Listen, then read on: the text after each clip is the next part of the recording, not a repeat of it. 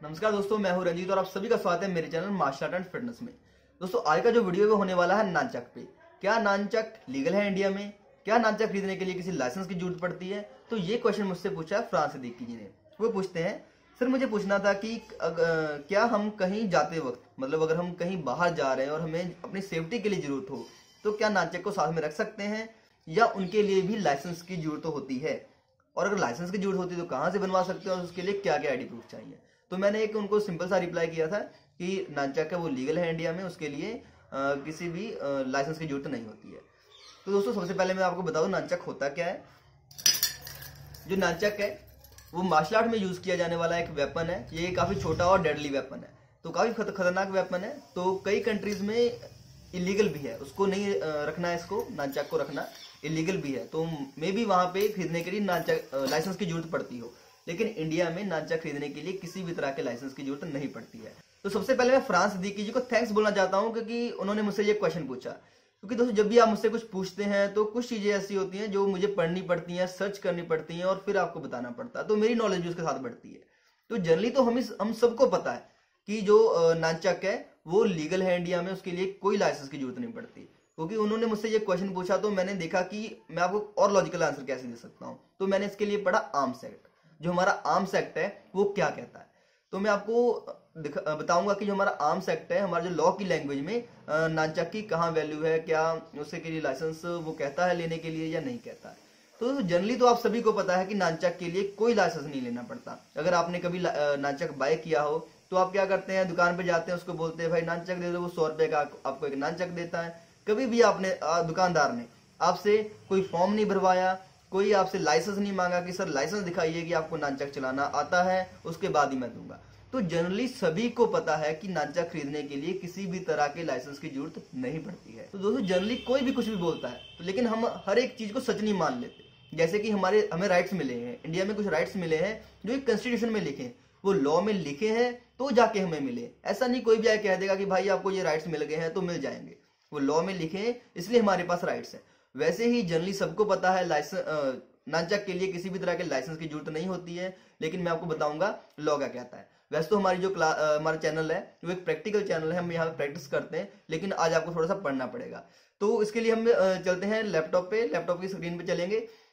तो देखिए, मैं आपको दिखाता हूँ कि जो गवर्नमेंट की साइड पे जाके एक मैं आर्म साइड खोलूँगा और आपको थोड़ा सा वहाँ पे पढ़ना पड़ेगा। और मैं दिखाऊँगा कि आपको वहाँ पे क्या लिखा है इसके बारे में। तो दोस्तों, चलिए चलते हैं लैपटॉप की स्क्रीन पे। तो दोस्तों, सबसे पहले आपको एक ब्राउज़र ओपन करना होगा। तो मेरा ब्राउज़र ओपन हो रहा है और यहाँ पे आपने एक साइट का नाम टाइप करना है M H A dot G O V dot in तो ये गवर्नमेंट की ऑफिशियल वेबसाइट है, ministry of home affairs, government of India. तो ये उसकी ऑफिशियल साइट है, अभी ये ओपन हो रहा है। तो दोस्तों, ये है मिनिस्ट्री ऑफ़ होम अफेयर्स की ऑफिशियल साइट मैं यहाँ से आपको थोड़ा सा एक्ट पढ़ा रहा हूँ। कई लोग ऐसा ना कहें कि मैंने अपने आप से उठा लिया कुछ। तो ये एक्ट्स एंड रूल्स है, यहाँ पे जाना है आपने। खुद भी जाके आप यहाँ पे पढ़ सकते हैं। तो हम आएँगे पेज नंबर थ्री पे। थ्री पे वो एक्ट एंड रूल्स पढ़े हैं, जो मैं आपको पढ़ाना चाहता हूँ, दिखाना चाहता हूँ।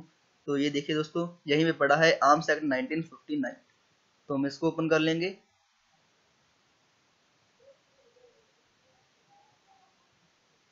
तो दोस्तों, ये जो एक्ट है, वो खुल गया है। आपने देखा, मैंने उसकी ऑफिशियल साइट से निकाला है। तो सबसे पहले तो दोस्तों, हम इसकी डेफिनेशन को पढ़ते हैं। जो उसमें आर्म्स की डेफिनेशन है, वो क्या कहती है? क्या वो जो नाचक है, उसको इंक्लूड करती है आर्म्स में? आर्म्स का मतलब दोस्तों होता है हथियार। हथियार या वेपन कह सकते हैं। तो जो नानचक है बेसिकली जनरली हमें पता है वेपन्स है, लेकिन देखते हैं लॉ क्या कहता है। आर्म्स आर्म्स मतलब हथियार means articles of any description किसी भी डिस्क्रिप्शन के आर्टिकल कुछ भी हो, चाहे जैसी मर्ज़ी बनतर हो उनकी, जो डिज़ाइन किए गए हैं और एडेप्टेड एज वेपन्स जो डिज़ाइन किए गए हैं और उन्हें यूज़ किया गया है, किस चीज़ के लिए? एज वेपन हथियार के तौर पे उन्हें डिज़ाइन किया गया है और यूज़ किया गया है। किस चीज़ के लिए? ऑफेंस के लिए, किसी को मारने के लिए या ये ऑफेंस के लिए और और डिफेंस के लिए या खुद को बचाने के लिए। दोस्तों जो पहली लाइन है उसमें ही नानचक इस आर्म्स की कैटेगरी में इंक्लूड हो, हो हो, हो जाता है कि जो नंचक है वो भी एक वेपन है। Arms means articles of any description designed और adapted as weapon for offence और डिफेंस एंड इंक्लूड यहाँ पे दोस्तों इन्होंने कुछ जो वेपन है वो इंक्लूड करके बताए हैं। जैसे कि फायर आर्म्स हो गए फायर आर्म जैसे गन्स हो गई शार्प एज मतलब तेजदार हथियार जैसे स्वॉर्ड हो गई, या खुखरी हो जाती है, वो भी इसमें आ जाएगी एंड अदर डेडली वेपन्स और दूसरे जानलेवा हथियार, जो किसी की जान ले सकते हैं। तो वो सारे जो वेपन है जो सारी चीज़ें हैं, वो वेपन में इंक्लूड हो सकती हैं, हो जाती हैं आर्म्स में इंक्लूड हो जाती हैं। तो जो यहाँ तक की डेफिनेशन है, वही नानचक को इंक्लूड कर रही है आर्म्स की डेफिनेशन में। दोस्तों, ये आगे पढ़ते हैं बट डज नॉट इंक्लूड यहाँ पे इन्होंने कुछ एक्सक्लूड किया है, कुछ इस एक्ट से बाहर निकाल दिया गया है। क्या है वो? आर्टिकल्स डिजाइंड, वो आर्टिकल जो डिज़ाइन किए है सोली फॉर डोमेस्टिक और एग्रीकल्चर पर्पज डोमेस्टिक मतलब घरेलू पर्पज और एग्रीकल्चर मतलब जो खेती बाड़ी के लिए यूज़ होते हैं यूज़ होते हैं। जैसे कि लाठी। अब दोस्तों, लाठी जैसे अगर आप गाँव में रहते हैं कोई बकरियाँ चलाने जाते हैं या भैंसे चलाने जाते हैं तो आपको पता होगा लाठी वहाँ पे कितना काम आती है। तो उस लाठी को एक्सक्लूड करते हैं कि वो वेपन नहीं है। लेकिन आपको तो पता ही है कि हम मार्शल आर्ट्स में भी लाठी का यूज़ कर सकते हैं, वहाँ पे वो कितना काम आती है। तो ये जो घरेलू पर्पज के लिए लाठी है, उसको एक्सक्लूड कर करने। यहाँ पे उन्होंने स्पेसिफिक लिखा है। और एन ऑर्डनरी एक ऑर्डनरी वॉकिंग स्टिक्स स्टिक जैसे कि दोस्तों बुज़ुर्ग लोग हैं, वो लाठी के सहारे चलते हैं तो उन्होंने उसको भी एक्सक्लूड किया कि वो भाई वेपन नहीं है। एंड वेपन इनकेपेबल वो वेपन जो इनकेपेबल है, जो इस एबल नहीं है और being used otherwise than as try मतलब अगर कोई ऐसा वेपन है, जिसको सिर्फ़ एक एज खिलौने की तरह यूज़ किया जा सकता है।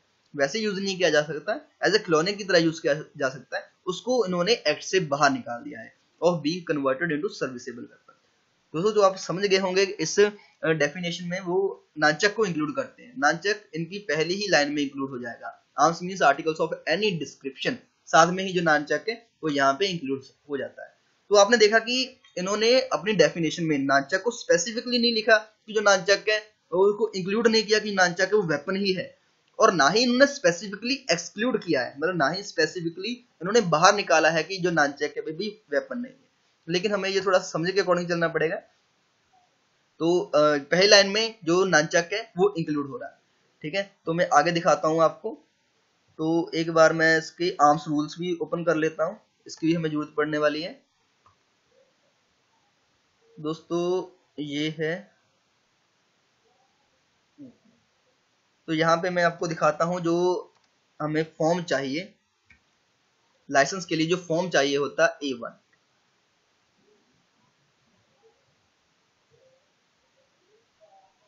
ये दोस्तों खुल रहा है अभी। ये फॉर्म ए वन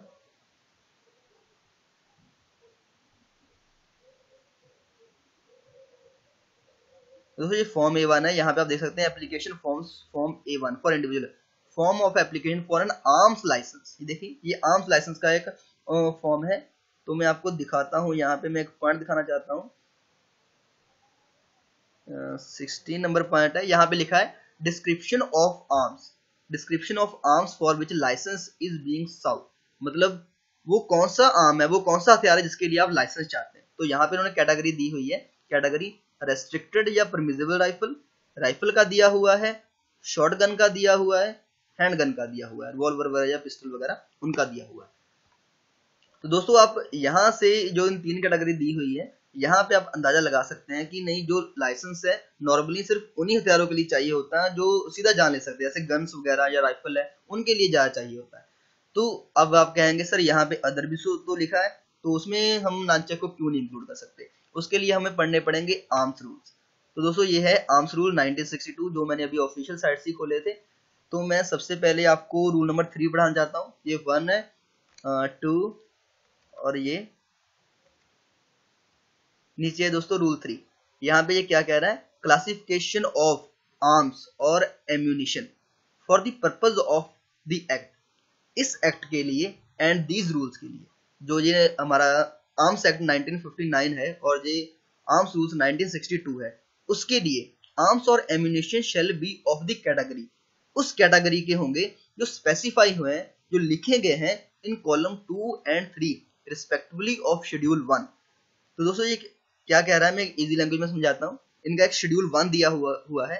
तो ये कह रहे हैं कि जो भी आर्म्स एंड जो भी आर्म्स एंड एम्यूनिशन वो शेड्यूल वन में लिखे हैं ना तो हम वही कंसिडर करेंगे इस एक्ट और इनके रूल्स के लिए। इस एक्ट के लिए हम सिर्फ़ उन्हीं हथियारों को कंसिडर करेंगे। मतलब जो लाइसेंस वगैरह चाहिए हमें, उन्हीं हथियारों के लिए चाहिए और किसी के लिए नहीं चाहिए। ये बहुत ज़रूरी लाइन है। अगर आप इस क्वेश्चन का आंसर चाहते हैं तो फिर से मैं एक बार अच्छे से पढ़ा देता हूँ। इस पर ज़रूर ध्यान दीजिएगा। For the purpose of the act and these rules arms और ammunition shall be of the category specified in column two and three respectively of schedule one मतलब जो शेड्यूल वन में जो भी हथियार दिए हैं, सिर्फ़ वही हम लेके चलेंगे, वही मानेंगे कि इनके लिए हमें लाइसेंस चाहिए और इन्हीं को हथियार कंसिडर करेंगे, उन्हीं को लेंगे। तो दोस्तों, मैं आपको अभी शेड्यूल वन के पे लेके चलता हूँ। तो ये रूल नंबर थ्री था, ये काफ़ी इंपॉर्टेंट रूल है।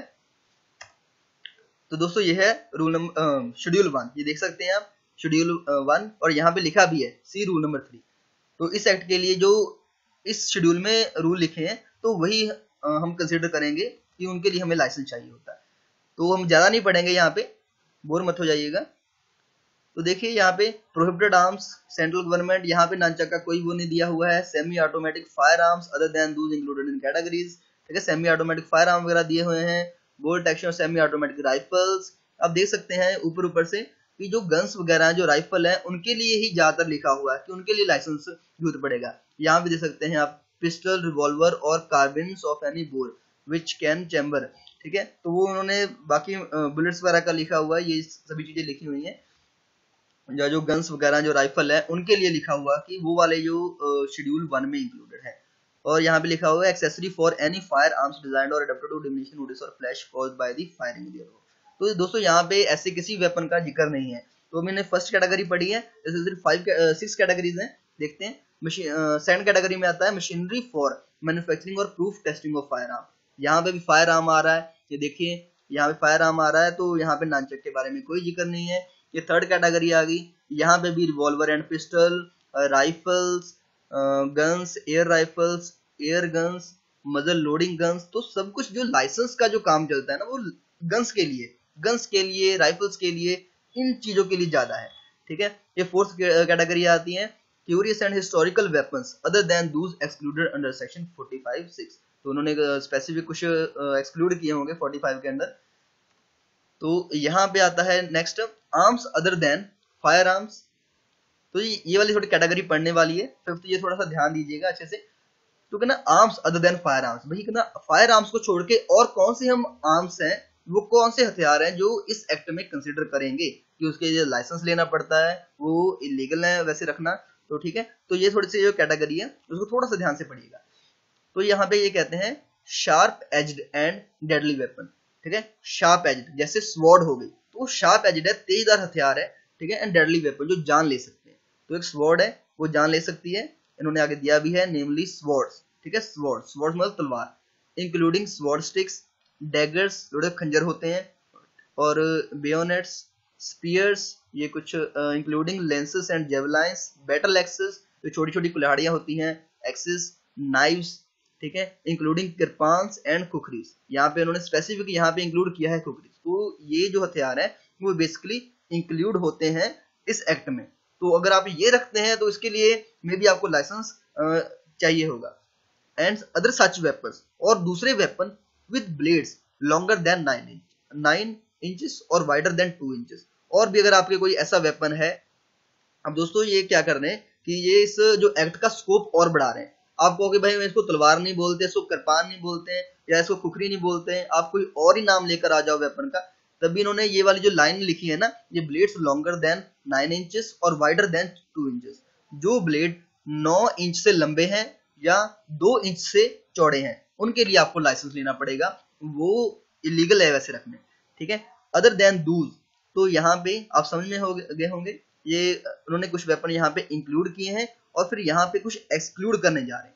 अदर देन दूज उनको छोड़ के जो डिज़ाइन किए गए हैं फॉर डोमेस्टिक पर्पज जैसे हमने पहले ही पढ़ा था डोमेस्टिक पर्पज के लिए एग्रीकल्चर पर्पज के लिए साइंटिफिक और industrial purpose steel baton zippo and other such weapons car life preservers machinery for making arms other than category two and any other arms which the central government may notify under section four तो दोस्तों, यहाँ पे देखा आपने, ये बाकी सभी में दिए हुए हैं फायर आर्म्स तो उन्होंने फिफ्थ कैटेगरी में लिखा है other than fire arms fire arms को छोड़ के। तो ज़्यादातर इन्होंने वही वेपन इंक्लूड किए हैं जो तेजधार हथियार है। जो हमारा नानचक है, वो तेजधार नहीं है, ठीक है? तो इसलिए इन्होंने यहाँ पे इंक्लूड नहीं किया हुआ। और रूल थ्री में लिखा था कि जो शेड्यूल वन में इंक्लूड किया गया हो, वही हम हथियार मानेंगे कि वो हथियार इस एक्ट में इंक्लूडेड है। तो नानचक यहाँ पे इंक्लूड नहीं किया गया। तो मैं सिक्स कैटेगरी भी पढ़ देता हूँ आर्टिकल्स कंटेनिंग एक्सक्लूसिव यहाँ पे एक्सक्लूसिव आ जाते हैं और fulminating materials fuses and friction tubes other than blank fire cartridge ingredient as defined in section two sub section one तो दोस्तों, यहाँ पे ननचक के बारे में कुछ नहीं लिखा हुआ, ठीक है? तो अब जैसे रूल थ्री में क्या लिखा था कि जो वेपन्स लिखे हैं शेड्यूल वन में, ठीक है? शेड्यूल वन में वही इंक्लूड होंगे इस एक्ट में। और जो हमारा नानचक है, वो कहीं भी नहीं है। तो बेसिकली वो एक्सक्लूड है, वो वो उस कैटेगरी में नहीं आता जिसके लिए हमें लाइसेंस लेना पड़े। तो दोस्तों, आगे बस ये शेड्यूल वन यहीं पे खत्म हो जाता, आगे कुछ भी नहीं है।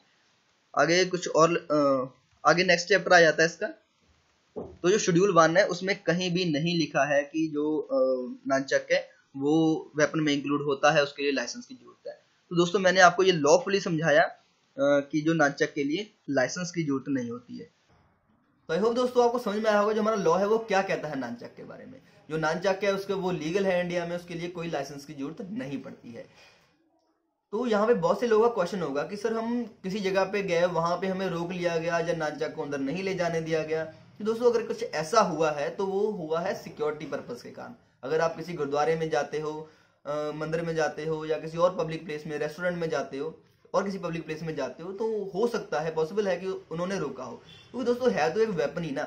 आप सामने वाले को बहुत बुरी चोट दे सकते हो। अगर कोई लड़ाई होती है तो सामने वाले को बहुत बुरी तरह से हिट कर सकते हो। तो बेसिकली उन्होंने अपनी उस जगह की, उस जगह की सिक्योरिटी पर्पज के लिए आपको रोका होगा। वैसे जो नानचक है, वो लीगल है इंडिया में, उसके लिए लाइसेंस की ज़रूरत नहीं पड़ती है। दोस्तों, एक कमेंट किया है आकाश डबस जी ने, पूछते हैं please make a video on how to make punch strong तो आकाश जी, थोड़ा सा मेरे साथ बने रहिएगा, मैं इसके इसके पे भी वीडियो लेकर आऊँगा कि आप अपने पंच को कैसे स्ट्रॉन्ग बना सकते हैं, कैसे ज़ोर से सामने वाले को हिट कर सकते हैं। तो आज की वीडियो बस इतना ही। दोस्तों, अगर आपको ये वीडियो पसंद आया तो प्लीज़ लाइक ज़रूर कीजिएगा। और मैंने इस वीडियो के लिए थोड़ा सा एक्स्ट्रा एफर्ट किया है। आप भी प्लीज़ थोड़ा सा एक्स्ट्रा एफर्ट कीजिए और इस वीडियो को अपने दोस्तों के साथ शेयर कीजिए। और सीखते रहने के लिए मेरे चैनल को सब्सक्राइब करना मत भूलिएगा। थैंक यू दोस्तों।